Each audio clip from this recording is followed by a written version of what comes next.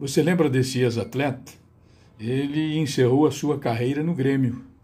Ele veio de São Paulo, do Palmeiras para o Grêmio. É, é o Marcelo Oliveira.